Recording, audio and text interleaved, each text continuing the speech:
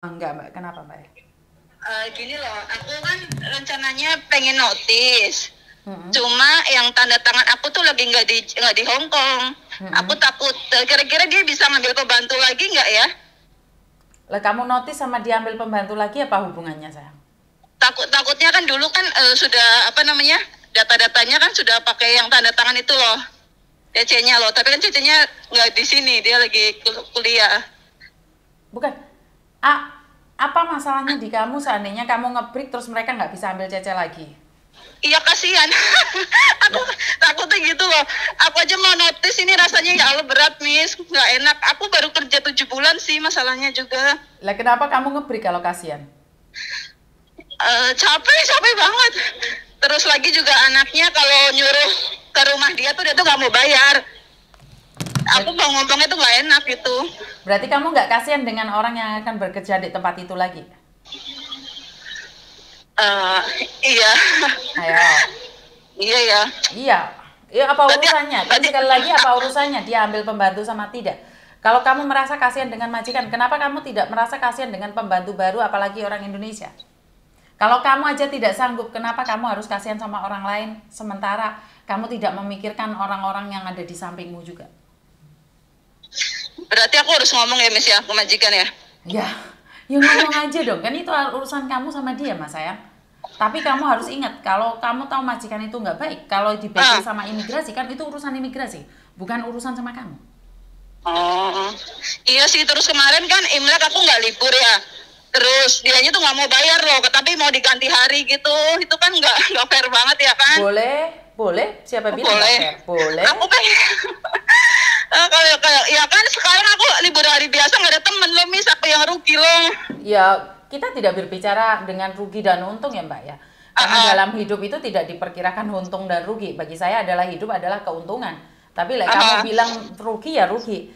Karena dalam peraturan tidak dinyatakan bahwa dengan hari yang sama bisa diganti dengan hari yang lain, sayang. Kita berpatokan pada peraturan. Jadi kalau rugi dan untung itu tergantung dari hati dan niat. Lah kamu merasa rugi, maka rugilah kamu. Tapi kalau kamu merasa beruntung, untunglah kamu. Itu tergantung dari apa yang kamu mau. Oh gitu. Mm, jadi hidup itu jangan pernah mempertaruhkan untung dan rugi. Oke, kalau saya bantu orang ini ah rugi ah nggak nggak mungkin dia bisa ngasih aku keuntungan. Maka hidupmu tidak akan pernah untung. Yang ada hanyalah rugi. Karena dari kata-katamu itu semua mengeluarkan negatif. Bukannya untung, Hmm. tapi rugi. Oh, Ngerti nggak? iya iya. Nah, ah, jadi jangan pernah berpikir tentang se- sesuatu aura yang jelek terus, no. Punya pikiran yang negatif terus. Mm-mm.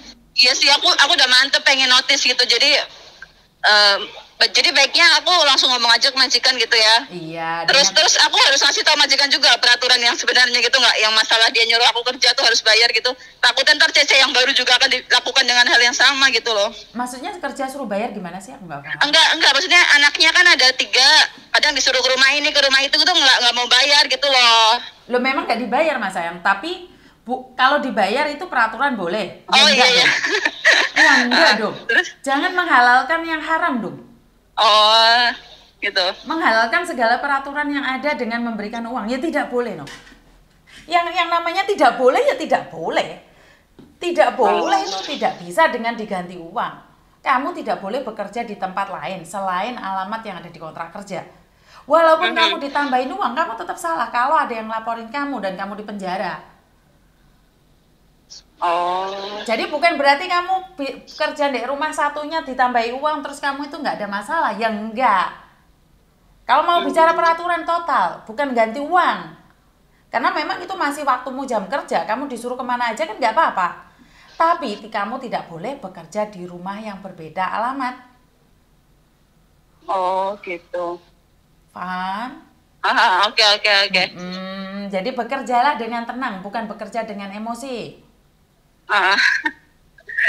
Mm-mm. Ya udah makasih ya Miss. Yo. Waktunya ya bye Yo, bye. bye-bye.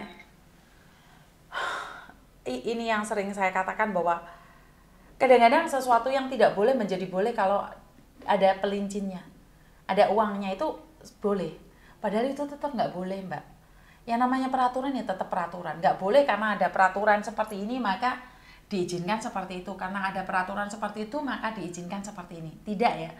tetap tidak apa yang saya ingin katakan di sini adalah kalau kerja dua rumah tiga rumah itu tidak boleh. Walaupun kalian digaji tujuh ribu delapan ribu itu tidak boleh. Dan ini mbaknya seolah-olah menghalalkan. Di mana uh, kak yang penting dikasih uang nggak apa-apa dong kerja dua tiga rumah. Enggak nggak boleh. Intinya tetap nggak boleh. Jadi jangan menghalalkan yang haram. Oh iya Miss Yuni ngomongnya kedukuran iyo kebablas sih mau.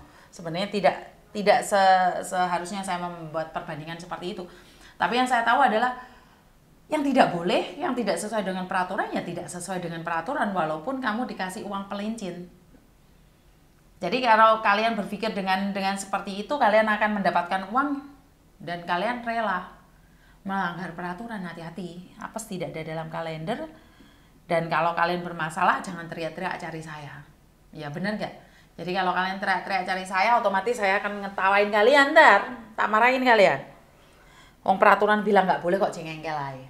Bener nggak? Jadi satu hal yang harus kita pelajari adalah kesabaran itu sangat penting. Kesabaran itu sangat-sangat penting. Ngomong gampang, praktek sulas susah. Praktek tidak mudah. Karena itu kita harus terbiasa.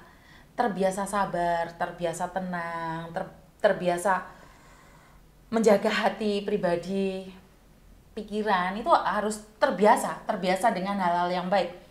Terbiasa berhati-hati, terbiasa sabar, terbiasa tekun, terbiasa uh, mengerti, sabar emosi, kendalikan diri, itu itu karena kebiasaan. Kalau kamu sudah biasa dengan semua itu, maka Anda akan melakukannya dengan ringan.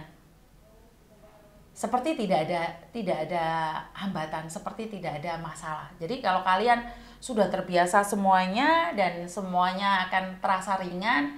Kalian melakukan apa pun ringan, membantu orang lain ringan, uh, tersenyum juga ringan, walaupun majikan mentengkel ngamuk-ngamuk, tapi kita tetap akan bisa tenang. Jadi buat teman-teman di luar sana, kesabaran, ketenangan, tahan emosi, dan jaga finansial, uangmu, jaga karena scammer-scammer itu bermacam-macam di luar sana dengan berbagai cara, dengan berbagai usaha untuk menjatuhkan kalian. Saya tidak tahu uh, mana yang benar, mana yang salah. Saya tidak mencari yang salah. Saya tidak mencari yang benar karena bagi saya benar aja belum tentu bijak. Karena itu berhati-hatilah. Apes tidak ada dalam kalender, apes tidak ada dalam kalender. Jadi itu aja dari saya, kurang lebihnya saya minta maaf. Wassalamualaikum warahmatullahi wabarakatuh. Berkat Tuhan mengalir atas hidup kita semua. Semoga semua makhluk hidup bahagia dan terima kasih. Bye bye.